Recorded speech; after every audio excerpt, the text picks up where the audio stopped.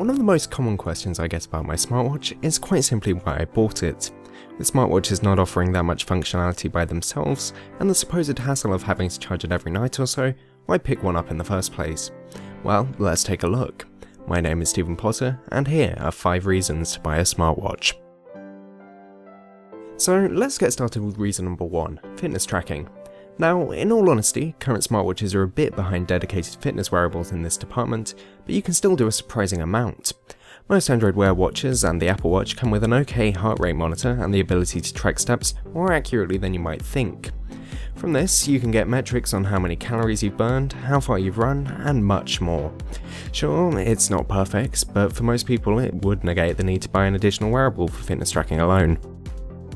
Now for reason number 2, media controls. So yes, this isn't the world's most amazing feature, heck, it's built into quite a lot of headphones already, but it sure can be useful. Rather than having to pull out your phone every few minutes to adjust the volume or skip a track, you can simply lift up your watch and adjust it all from there. This probably isn't a huge deal if you've got your phone out and on a desk, but if you're on public transport or really any other situation where getting your phone out might be somewhat inconvenient, it can be a lifesaver. All of this talk of music brings us on to reason number 3, music playback. For this, you'll need a pair of Bluetooth headphones and either an Android Wear device or an Apple Watch. Simply pair up your headphones to your smartwatch, open up your music player of choice, and get listening.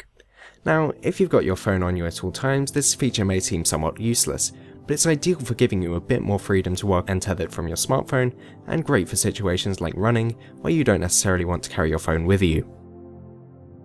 Reason number 4 is probably the biggest reason for picking up a modern smartwatch, notifications on your wrist. It's also probably the most controversial, with many people simply responding to it by saying that you might as well just go through the tiny effort of taking your phone out of your pocket rather than paying upwards of £100 for a smartwatch. But the truth of the matter is that wrist access is considerably faster and more convenient, and can, much like media playback, be very handy in certain situations. With Android Wear now supporting notifications over Wi-Fi, you can leave your phone practically anywhere and still get updates on your watch.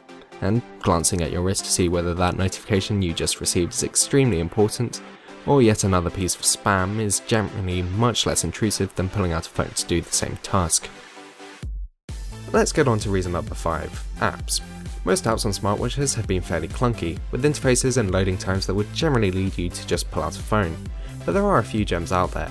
Google Maps, for example, can be a great help if you're walking along and want to check where you are at a glance. Google Keep is also great when paired with Android Wear's new Always On Apps feature to allow you to see items such as shopping lists with barely any effort. And Decider is a great stand-in for a coin flip. Smartwatch apps are always going to be somewhat more limited than their smartphone counterparts, and you needn't look further than VideoTube, a YouTube client for Android Wear, to see why.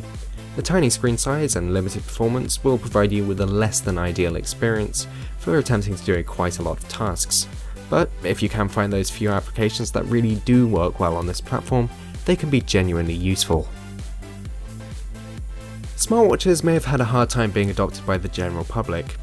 For the most part, they are companion devices and don't necessarily offer that much more on their own. But with more and more manufacturers getting on board, and both the hardware and software constantly improving, they should hopefully get a lot easier to justify in the near future. Thanks a lot for watching. If you like this video, please give it a thumbs up. If you disliked it, then feel free to give it a dislike. If you have a question or some more detailed feedback, then leave that in the comment section. And if you'd like to see more of these videos, make sure you click the subscribe button below.